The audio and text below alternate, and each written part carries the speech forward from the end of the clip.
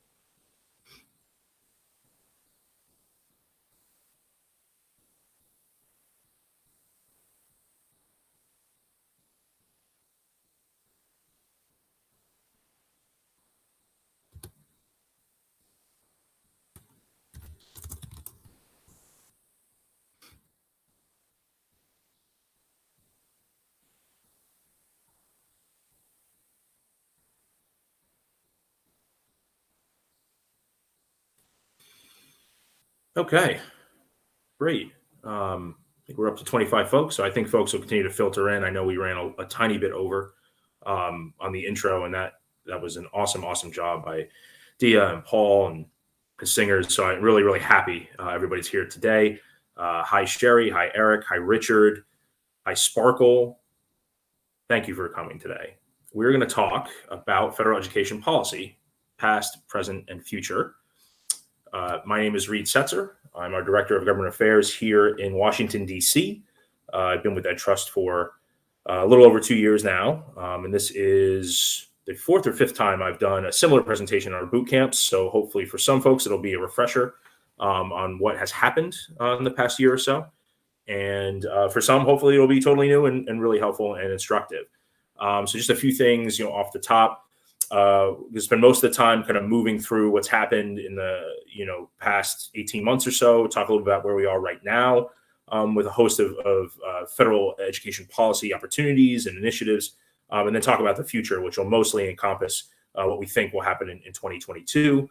Uh, we hope after this year you'll feel you have a greater understanding of you know what the federal government's actions were in response to COVID and what they're doing right now in relation to COVID relief um, for our nation's education system. Um, you understand what Ed Trust is interested in and focused on, and what we help uh, hope to engage in uh, both right now and into the future. Um, and then you have a strong understanding of how best uh, to align your own priorities, uh, you know, at the federal and state levels over uh, the next, uh, you know, next year or so. so the final thing I'll just say is that this presentation is being performed for strategic planning purposes only. Um, the idea is that your organizations can begin to think about how these policies may or may not impact your agendas and how they align with ours. Um, and we would ask that you not share this material or recording publicly, although I, I do expect it will be posted uh, you know, after the fact to share within your organizations, as will the uh, presentation. So uh, with all that, uh, let's get started on the substance. Uh, I will just say too, we'll have, uh, there's a Q&A slide at the end, um, and we'll save time for that as things pop up. Um, if you want, want to maximize uh, you, know, you know the, the, the time at the end. Um, if you could hold, hold questions till the end, that would be great. But if things pop up in the chat, um, no worries. I'll try try and get to those as we go. So, uh, as I mentioned, you kind of have a past, present, future uh, breakdown here. Uh, the past, when we say the past, we don't mean uh, uh, too far, uh, too too much in the past. mostly March 2020 to March 2021. Uh, which will encompass a quick review, relatively speaking, of what the federal government's COVID response uh, initiatives were uh, during that time period. Uh, the present will focus on sort of April of this year to to today and a little bit beyond that, um, specifically on the pivot um, uh, from only focusing on COVID to kind of combining the ongoing COVID response that we're seeing uh, you know, with uh, systemic ideas, you know, about how things can change and policies that, that need to be improved and updated and made more equitable. Um, and then the future will be sort of the end of whatever this reconciliation Build Back Better Act period is, which I'll get into, um, into 2022. So, how does the COVID response continue? Um, how does reconciliation get implemented if it is passed? And then what else is going on? Because in the meantime, there's the pandemic happening, and then there's actual uh, standard issue government practices and, policies that have been uh, a focus of many, many groups and many people for a long time as well. So, how, how are we going to balance those moving forward?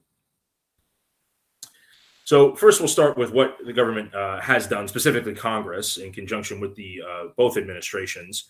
Uh, you know, the first couple things, CARES Act is obviously the biggest thing, um, you, you, know, from March of 2020. But did want to just highlight what came right before that for one specific reason, which I'll touch on in a second. Uh, then you have the December relief package. Uh, uh, um, or just I've been calling it the December package, but the Coronavirus Response and Relief Supplemental Appropriations Act, and the American Rescue Plan Act, um, which folks will be probably most familiar with from March of, of this year. Uh, so I would just say I don't plan on going into detail uh, on all of these things, but we'll just highlight a few things from each of them. Uh, so as I mentioned, this Families First Coronavirus Response Act uh, signed into law before we, I think, really fully understood um, how the pandemic was going to change all of our lives and, and all of the systems in which we operate in the institutions in, in America. Uh, the one thing I did want to highlight with this is, is that it did create uh, the PEBT program. Um, and essentially, you know, this was a uh, pretty direct acknowledgement that schools are pretty vital community institutions in delivering food uh, to, to, children. Uh, and, and, you know, this was a very creative and effective solution um, to ensure that there was still access to those school meals, even when schools were physically closed and, and in-person learning was not taking place at that time uh, you know, I think it's also invited a lot of constructive thought about how to re-envision, um, you know, this system as a whole, um, how to make it more expansive, um, quite frankly, more effective and, and generous um, for for schools and students.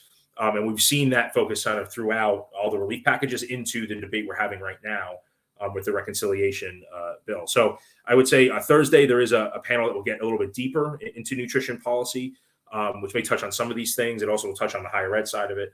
Uh, but I did want to just flag that for, for folks who are interested in, in the nutrition policy piece of this. Uh, but after that, as you can see, that was mid March. We're already at the end of March, only two weeks later, and we, we passed the CARES Act.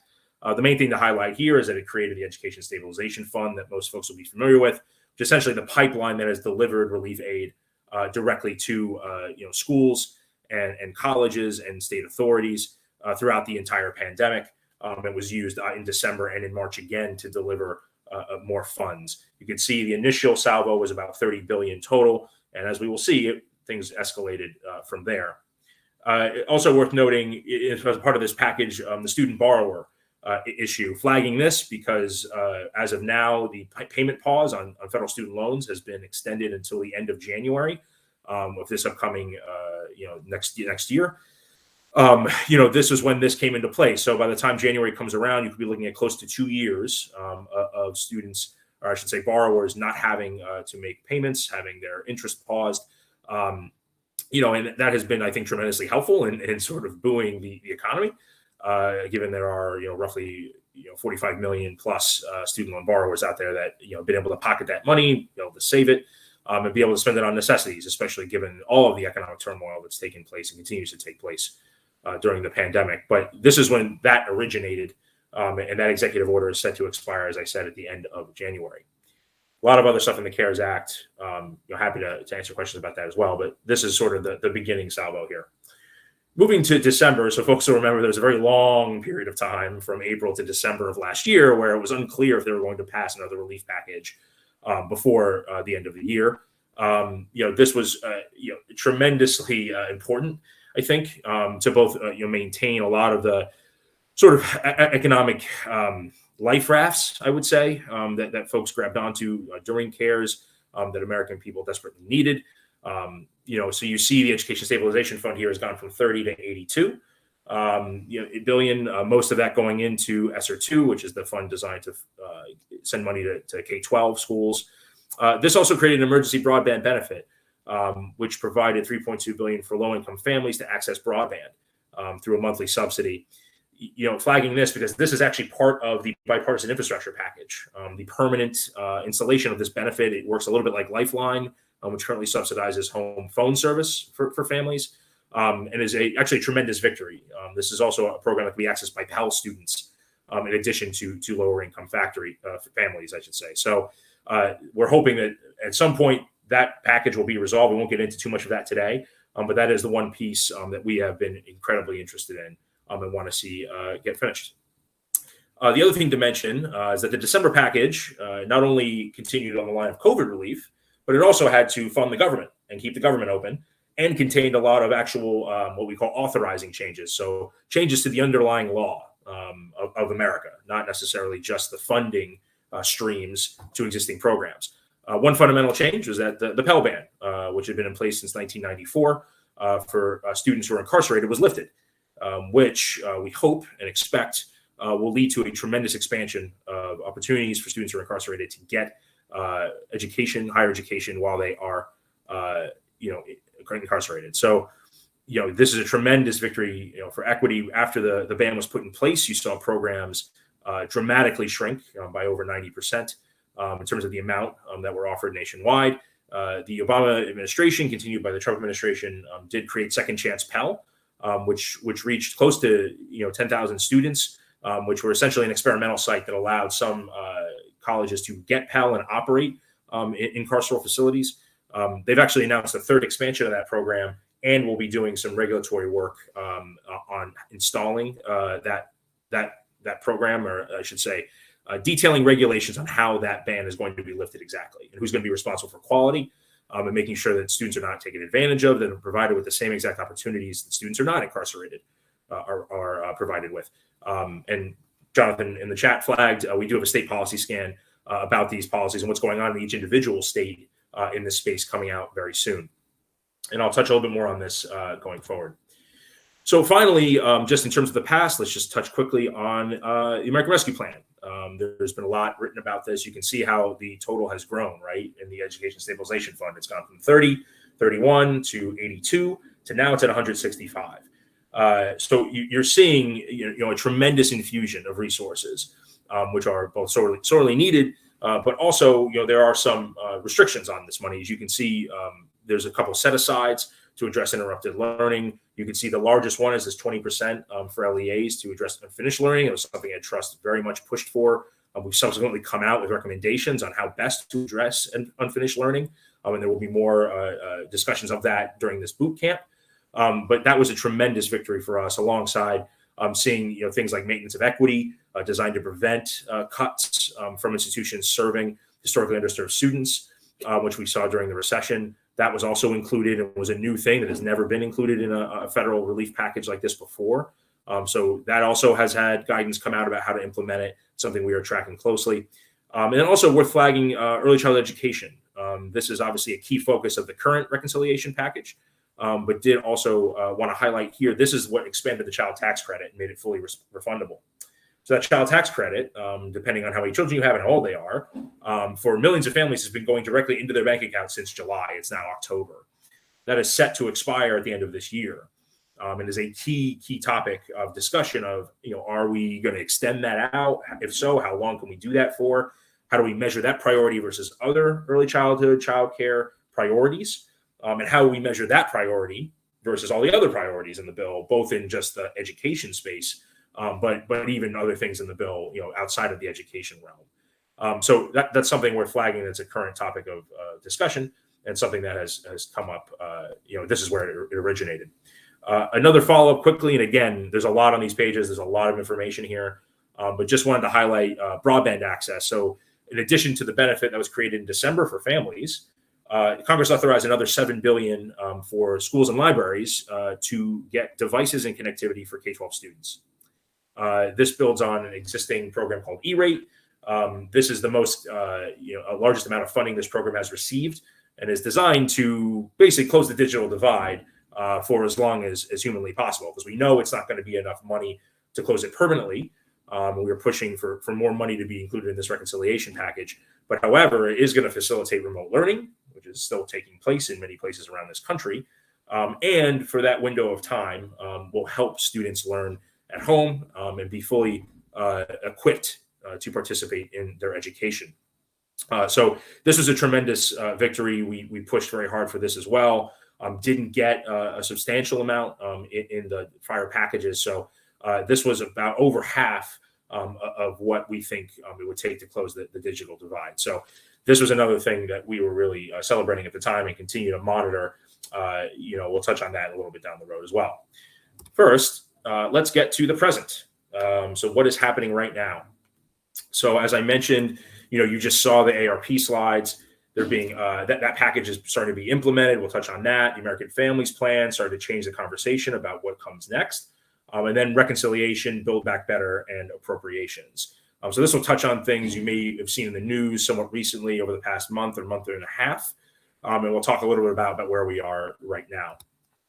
So right now, um, in terms of implementing these packages, um, the administration is uh, doing quite a bit. Um, they're continuing to monitor the implementation of elements of the American Rescue Plan. Um, they've issued, I believe, two different volumes um, uh, uh, under the, the nomenclature of handbooks. Uh, volume one focused on safe reopening uh, uh, from a public health perspective mostly. Um, and volume two did touch on the, the pedagogical aspects of, of both addressing the needs of discrete populations, um, such as students that are experiencing homelessness and, and disabled students, but also uh, just finishing unfinished learning in general.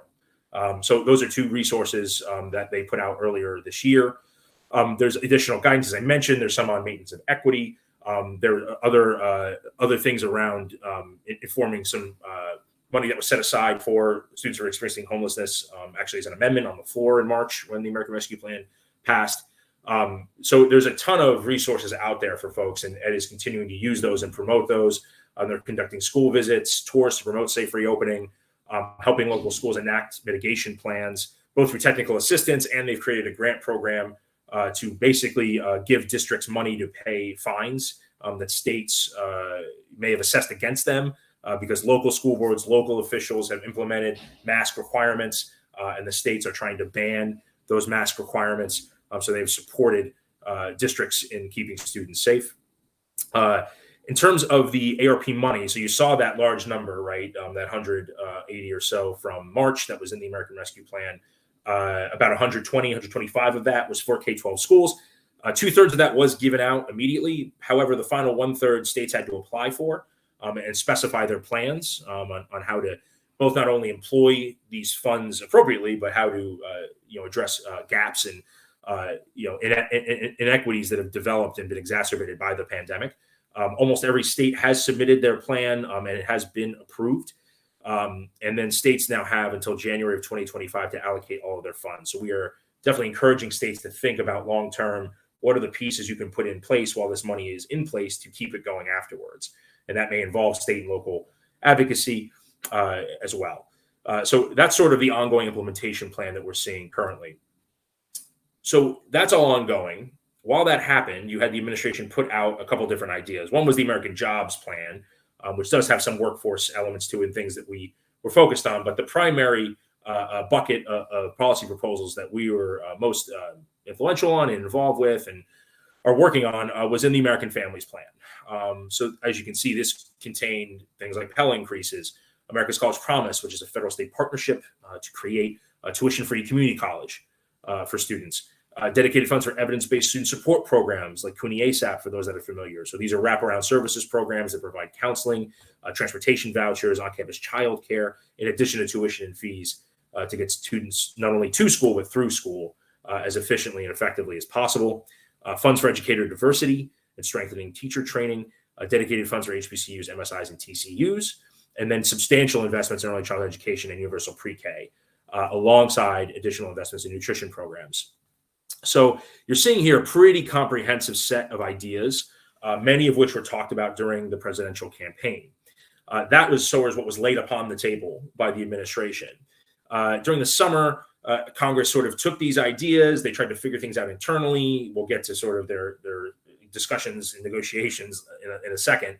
Um, but this was sort of what everyone was talking about and saying, hey, these investments are needed. These are the levels we need this is what has to be in there. And this was this was roughly a, a shade over four billion dollars total, um, according to some documents and projections.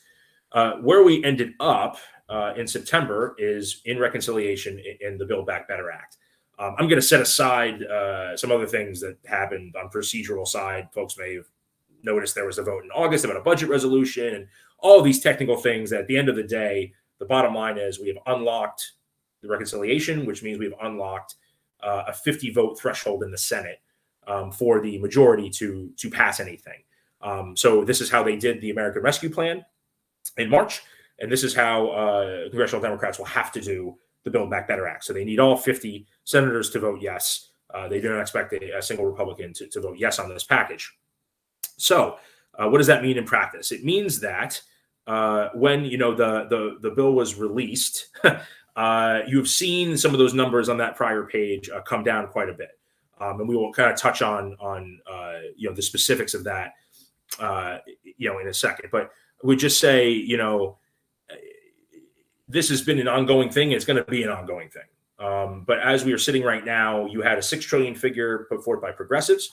As I mentioned, the families plan was 4.4 uh, trillion, and then now we're looking at the 3.5 trillion number, uh, which is where sort of most of the caucus and the White House had settled and said, okay, we'll do that.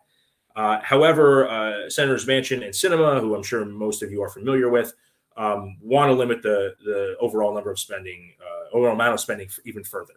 Um, as such, it looks like they're hovering around two trillion right now. Um, Senator Sinema has not really articulated any public demands. Um, Senator Manchin has been a bit more publicly available, I think, um, to discuss where he has been uh, approaching this from.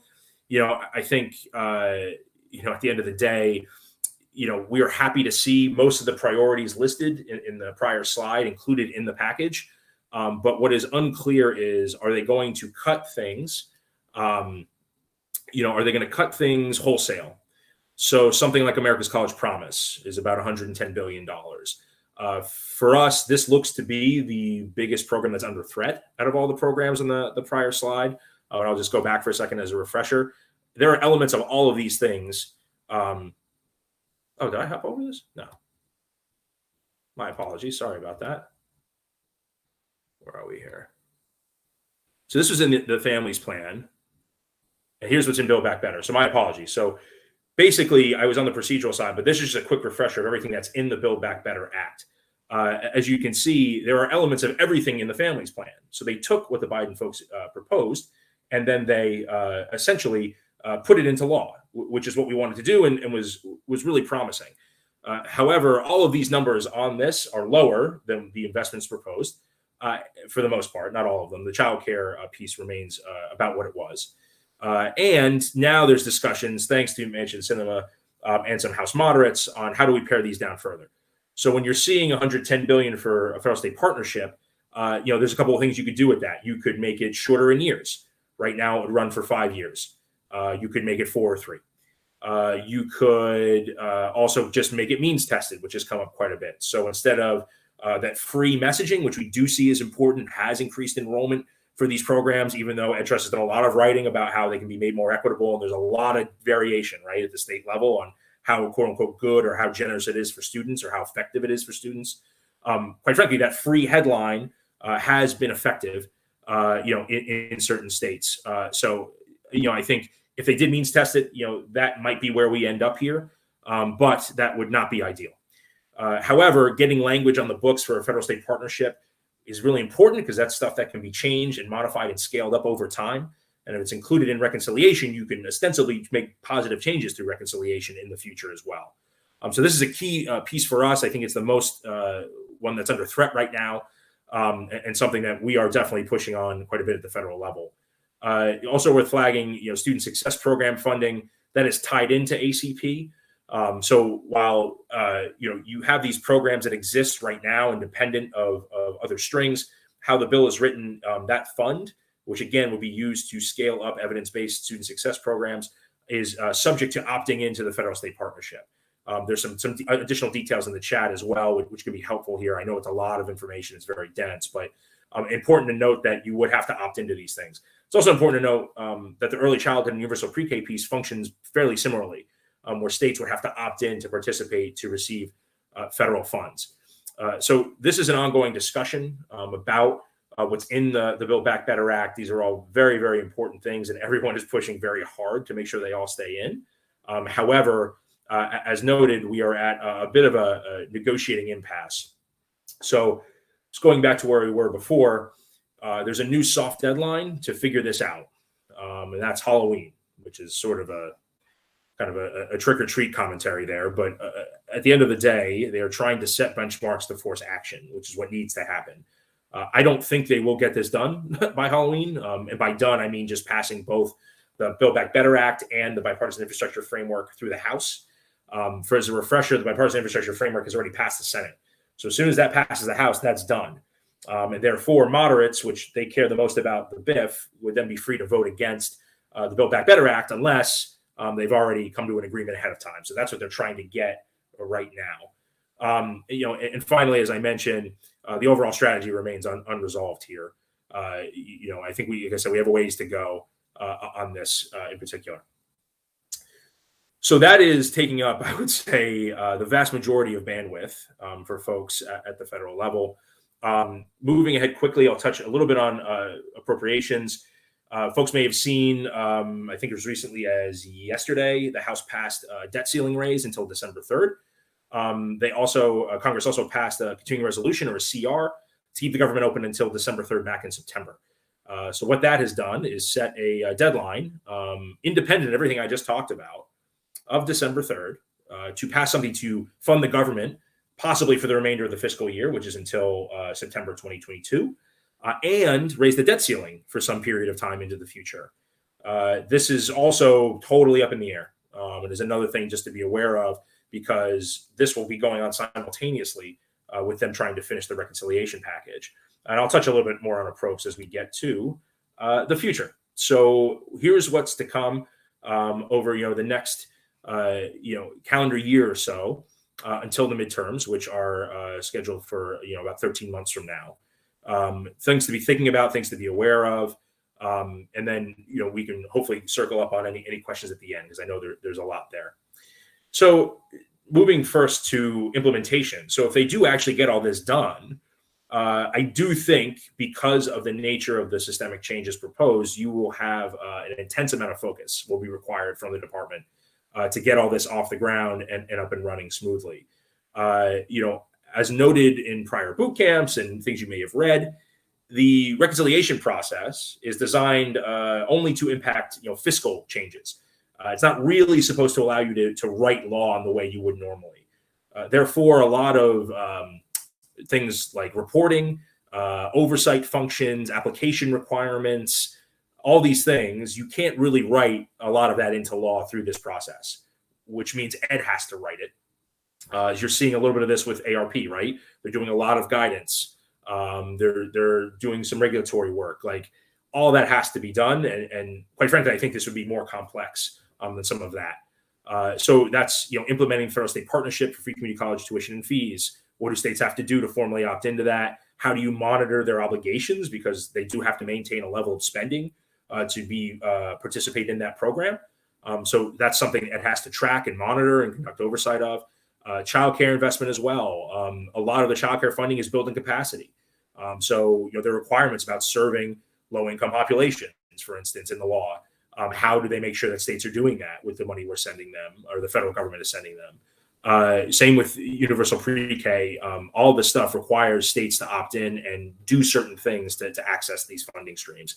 Um, and again, there'll be applications for smaller programs as well that are funded um, for the first time through, through this program. So these are all things that are going to that's going to be a, just a, an ongoing process for folks that's going to require a lot of federal state uh, interaction uh, additionally setting that aside you have the quote unquote biden agenda the regular things that he had ran on outside of covid um, that quite frankly a lot of education advocates at the federal and state level were expecting any new administration to tackle uh, you know right now they are engaged in what's called negotiated rulemaking um, as a quick refresher uh, if you want to make regulatory changes to uh, higher education programs or programs in the Higher Education Act, specifically in Title IV, um, which is where all the student aid programs are located, um, you have to go through what's called negotiated rulemaking.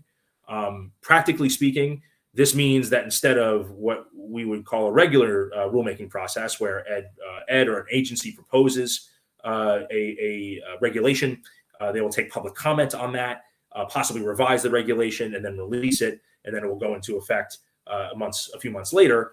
Uh, this is a process by which Ed has to invite stakeholders to the table. Uh, they quite literally convene them, usually in a room. Um, the one happening right now is virtual for for pandemic reasons, um, and sit them at a table and try and get them to reach consensus on a variety of topics. In some cases, um, this does not happen often. Uh, you know, I don't think it's expected right now. Um, what they're doing currently is that there is a, a group of folks. Uh, last week was the first week. There's one in November and one in December.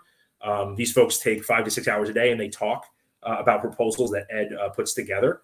Um, right now, they're discussing things like revamping the borrower defense rule, which is designed to allow uh, defrauded um, or misled students um, to uh, essentially get their get their money back and get their Pell eligibility back um, if they've been misled most often, most frequently by a for-profit college, even though the rule does apply to all schools. Um, I would then say uh, there's other discussions going on about how to reform the student loan system, um, specifically the income-based repayment plans, of which there are several, um, which can be confusing for borrowers. Public service loan forgiveness, which folks have seen. Um, there's been a recent announcement that they're going to overhaul that program separate from the negotiated rulemaking, um, which is great, and they're going to give credit to a lot of folks um, out there who.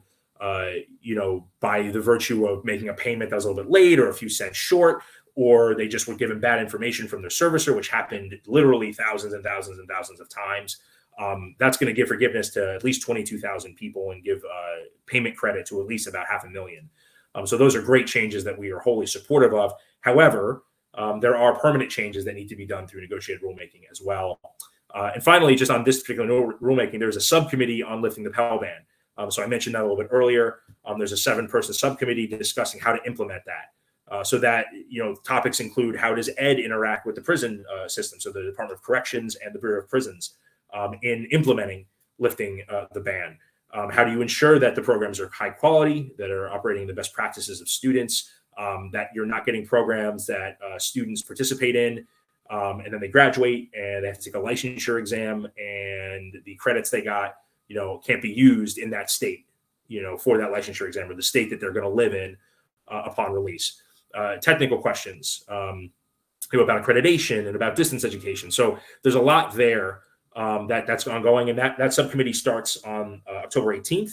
Um, all of these things I've mentioned, the full committee sessions and then the subcommittee are all available. You can register and watch them live um, if you so choose and if you are interested. Uh, this process I just described will likely wrap up in the spring of 22. Um, I don't I don't know if they'll reach consensus or not, but regardless, Ed will uh, put out uh, final regulations at the beginning of, of next year. Um, there will be public comment, and they will uh, basically have those done before November. Um, so they will go into effect in July of 2023. Uh, they've also announced they will do another NEGREG uh, in um, in 2022. Uh, that NEGREG will focus on uh, what's called the 90-10 rule, which is designed to um, have for-profit colleges get at least 10% of the revenue from non-federal sources. So it's a quality control and a market function rule, and the gainful employment rule uh, which was also designed to uh, police bad outcomes specifically, uh, not only at for-profit colleges, because it did apply to community colleges as well, and, still does, um, but uh, to ensure that uh, vocational programs, career training programs are actually uh, producing quality educational and market outcomes for students. it's a good question, Jonathan. So, you know, from a, a NEGREG perspective, there's a couple different ways to interact with this process as an advocate and folks who are paying attention. Um, one is there are windows for public comment uh, every day uh, during the current NEGREG. So if you have something to say, uh, there's a 30 minute window at the end of every session. The next one is uh, in early November. Um, that'll be on Ed's website. Um, and then uh, in early December as well. So there's 30 minute sessions in the immediate term. Uh, then in next year, there will be an opportunity for folks to file comments, public comment, which I mentioned on the proposed rules. Ed Trust does that frequently. Um, so you can do that too, and your organizations can do that as well. Um, and then uh, there will be another negotiated rulemaking. So if you work on those issues, gainful employment, 90-10, um, you can apply to be a negotiator. Um, there are slots that correspond to uh, certain roles, two-year schools, four-year schools, for-profit schools, uh, current students, legal aid, uh, state attorneys general, things like that. Um, but you can apply uh, as well, um, you know, to be a part of that. So those are all really exciting opportunities that are happening uh, on the executive side. Um, want to touch it quick, quickly, and then we can get to Q and A. uh, would just say on the loan side, uh, there's also a lot of unresolved issues regarding servicers. Uh, Navient is who is the largest servicer currently is transferring uh, a lot of their accounts, um, all of their accounts actually, to to another uh, a debt collector actually um, was going to take up servicing uh, services. Uh, so that's a huge lift for the department to manage. Additionally, FedLoan, um, which runs all the public service loan forgiveness accounts currently, uh, is also leaving the program. So those will also have to be reassigned. Uh, so, from an individual perspective and an advocate perspective, please uh, be aware Ed should be sending things to loan holders. They may have questions. We're happy to be here as a resource. We work with a lot of people who are in uh, incredibly deep and know people at the department who are trying to manage these, these issues as well. Um, so, other things they'll have to do uh, re regulate on Title IX, which is in process right now. Um, figure out next steps on statewide assessments and accountability systems um, for possible assessments next year, um, which we do expect to take place in the spring um, but how those will, will go and how they'll interact with existing uh, statutory requirements under ESSA remains to be seen, uh, and additional guidance. So, school discipline, um, uh, possibly out the end of this month or next, um, how to basically uh, end racial disparities there, curb uh, discriminatory practices, uh, you know, sort of decriminalize um, how, how, students are treated. that's an issue. Um, also, resource equity about state and local funding. Um, that that was a piece of the federal um, the budget the, the budget proposal um, that also is on the table as, long, as well as some other things. Um, I think you will see uh, that the administration will probably be a bit more active uh, next year than Congress, uh, provided they do get this done. however, worth noting things like child nutrition reauthorization, uh, WIOA, and ESRA, um, which are, uh, you know, in their own right, pretty substantial bills, um, are all uh, possible topics for reauthorization and for Congress to work on in a bipartisan way. Um, it's not expected that there'll be another partisan reconciliation process next year as of now. Um, that could change, uh, but as of now, that is not expected, uh, and neither is uh, HEA or ESSA reauthorizations. Uh, our legislative priorities, um, in addition to some of those things I just highlighted, uh, we have a suite of bills that address a lot of uh, you know existing areas in the law. Um, you know things like college and career readiness, which there's there'll be a session later to come on that in a breakout. Educator equity and diversity, same thing. There's an optional session, I think, tomorrow at noon um, to learn more about state practices in educator diversity. Um, you also have access to safe, equitable, and positive learning environments. Um, this is another topic which will be discussed later on as a key focus of ours. So these are all bills that we're interested in um, and we'll, we'll, basically be turning to in 2022 uh, to, to, try and get more support for. Uh, Tracy, I see your question. So we have done, uh, you know, fly-in. Uh, they're called fly-in days typically because folks fly in.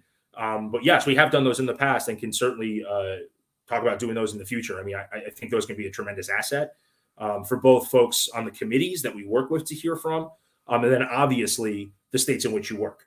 Um, you know, ideally, you have national legislators, federal members of Congress who are tuned into what's happening in their states. That's usually a prerequisite, even though some are better than others um, and having people share not only what's happening on the ground but the work that they're doing can be incredibly influential. Um, so yes, we have done those. Obviously, with, with COVID, things have changed a little bit, um, but I do think once we are on the other side of reconciliation, things will be a bit more. Uh, I don't know. Normal is probably not quite the right word, but it will go. It will resemble more of the traditional legislative process, let's say, um, than has happened previously. Uh, touching quickly, because I know we're r- running up against time um, fiscal 23 appropriations. So normally this is actually what's going on. Normally Congress is not hyper effective at passing changes to the law, so-called authorizing changes. Uh, that's changed because of reconciliation. Um, obviously, I just showed you Congress just spent about six trillion dollars, you know, over the past calendar year, and they're looking to spend a substantial amount more. Um, all of which is needed, um, all of which makes sense for where we are right now. Um, but uh, what they do have to do outside of that process, which again is is abnormal, uh, is pass appropriations every year uh, and keep the government open. Um, so right now, as I mentioned, we're still in limbo on fiscal 22, which ends in September. Um, they've passed the CR, but they have to figure out what's December to September look like in terms of funding existing programs. Um, you'll then see the State of the Union at the end of January. Uh, the the budget um, proposal by the administration will come out in February, most likely. Um, and that's very helpful to learn about priorities and how anything that's changed from the prior budget and also how they respond to what might get passed in reconciliation. Um, for instance, there's $200 million for uh, the Hawkins program, which would fund uh, clinical learning for uh, teacher candidates at HBCUs and MSIs. uh, you know, that program, if that's funded there, how does the appropriations process fund that program? Um, do they put more on top, or do they say, "Oh no, we've already funded that. We're going to skip it this time. We can get back to it once that money's expended." Those are the types of questions they're going to be asking uh, about, you know, how do we interact with what's already been done. Uh, overall spending levels a little bit unclear. Um, as I've mentioned before on prior presentations, they used to have spending caps that kind of automatically gave them a target to hit. Those are gone now. Um, they expired last year. So that's more of the Wild Wild West than it's been in a long time. Um, you'll see the cabinet secretaries testify, and then you'll see a summer appropriations process where some bills will be written and marked up. Uh, but likely we will be back where we are uh, this this year right now, and quite frankly, uh, every year, where there's a partial fund or a, a continuing resolution in September, and then a final deal uh, made in December. Uh, so finally, and we'll get to Q and A. Uh, folks have more. I've tried to. Hopefully, I didn't miss anything in the chat. Um, midterms. Uh, you know, everything is going to lead up to this, and a lot of people are going to be talking about this more and more. Um, as, as you know, non-policy oriented as that is, uh, it's where we are. So, folks should know. You know, there are nine competitive Senate seats, as rated by uh, the Center um, of Politics at University of Virginia, who's a very reliable source that I would encourage folks to read. They send out a, a newsletter. Um, five are currently held by Republicans, four are currently held by Democrats. Uh, Republican retirees include Senator Toomey in Pennsylvania, um, as well as uh, it looks like um, Senator Johnson in Wisconsin, uh, and also uh, Senator Portman in Ohio. Um, so those are marquee races to watch. Um, also on the Democratic side, we have Senator Kelly in Arizona for re-election, re-election, and Senator Warnock, who folks will remember was elected in Georgia in January uh, also up for election since that was a special election for a uh, partial term. Uh, also worth noting, uh, census population shifts and higher level of state government trifectas, which is to say total control uh, by one party or the other. Uh, they do favor the Republicans, um, or the GOP is abbreviated, to take back House control. Um, anonymous polls of Hill staff have indicated they think Republicans will take back House control. Uh, also, the budget chair, uh, Congressman Yarmuth of Kentucky, just announced his retirement this week, which is another sign um, that folks think Republicans will take back control of the House. Uh, they also will have the, the, opportunity to draw districts in their favor. And right now, many of those districts' maps remain unresolved. Only 10 uh, have been completed. Um, uh, finally, history does cut against the president's party. It almost always loses seats. I, I will say, though, that same anonymous poll of Hill staff uh, did think uh, that Democrats will keep the Senate. And I do think they have a slightly more favorable map overall. So I, I think the most likely scenario is that you're looking at a divided Congress um, after the midterms, which is all the reason why we have so much urgency, uh, you know, right now. Because typically when Congress is divided, uh, it is not overly productive, um, and certainly forecloses any possibility of using reconciliation again. So uh, I was kind of blown blown through that at the end. I know we are almost at time. I hope that was uh, informative. Uh, circling back through the chat here, just to make sure. And thank you to John and Jesse and everybody on our, our staff who've been so helpful. Philip um, and putting in supplemental materials here for folks. Um, there's just a tremendous amount of resources that I could I could never fully grasp or get to. So uh, hugely, hugely, hugely helpful. Um, so thank you so much to all of them. Uh, going down here, uh, so I know we are almost at time. So uh, I don't see anything yet, but please feel free. I would also say too, that's my email. Um, if you email me, you will get a response. Uh, it may not always be uh, the response you're looking for or the most informed response, depending on if it is outside uh, my knowledge, given so much uncertainty right now. But you will get a response. Um, and I am I'm happy to, to talk to anybody about any of this stuff. I know it is a, a lot to process um, in a pretty short amount of time. Um, the final thing I'll say um, while waiting to see if any questions come in uh, is just, you know, right now is the time. So if there are things you saw in the Build Back Better Act, federal state partnership for, you know, uh, free community college tuition, um, Pell, uh, early childhood, uh, universal pre-K, the nutrition piece is vital, and that's in there for 35 billion. Um, all of that stuff, HBCUs, MSIs. Um, now is the time, you know, to to get active on that. Um, they are trying to figure that out currently, um, and, and, really that is going to be uh, you, you, know something to, to, to think about. So feel free to reach out about that.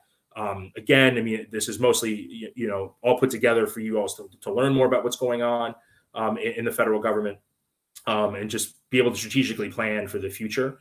Um, just because there is so much information to sort through. so I think with that, uh, I will let folks sign sign off, and we can transition uh, back to Reid, there is one question in the chat. It just came up. What message should we be sending now on ACP to senators? Did you address that?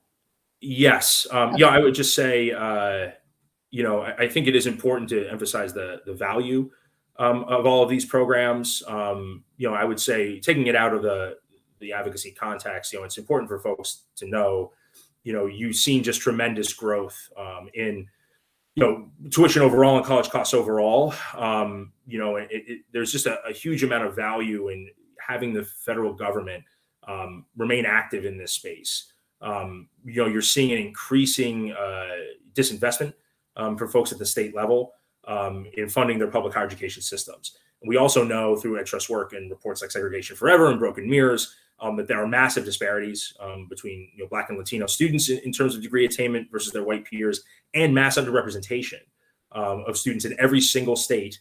Uh, the demographics of the student body in public higher education systems uh, do not match the demographics of the state population overall. And specifically, Black and Latino students are uh, less represented than they should be in our public systems, which are publicly funded. Uh, so uh, that, that I would just say, you know, those are important points to grasp and, and understand. But yeah, with, with that, uh, I would thank everybody for hopping on. Again, my email is there. Um, please reach out anytime. Um, and I am happy to help help uh, folks think about this stuff and, and, learn how we can all be maximally effective to, to hopefully achieve these goals. Uh, you know, as, as we go forward, um, it's uh, an interesting time, um, but it's good to see the federal government being active on a lot of these issues.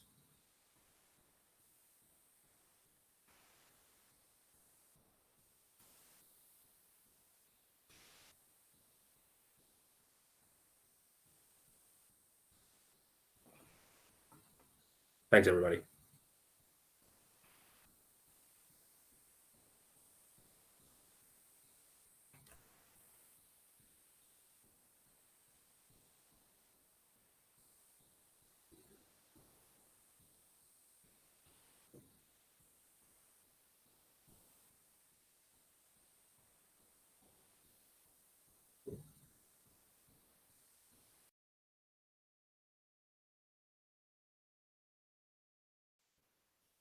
Great job, Reid.